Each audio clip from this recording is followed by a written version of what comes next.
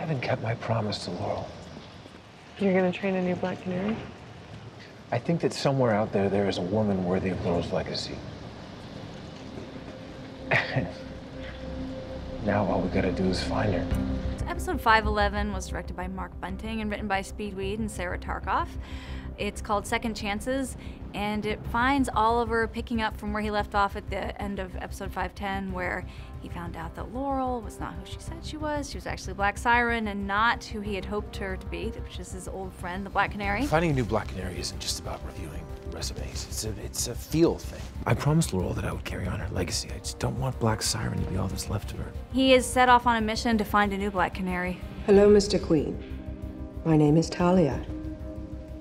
I've been looking for you. In the flashbacks, he has found a new mentor, someone who's going to show him how to divide his focus between being the Hood and being Oliver Queen. I found you because the world needs people like you.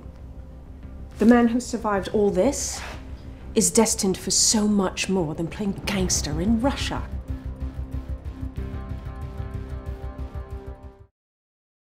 Thanks for watching. Subscribe to our channel to watch behind the scenes video and more from Arrow.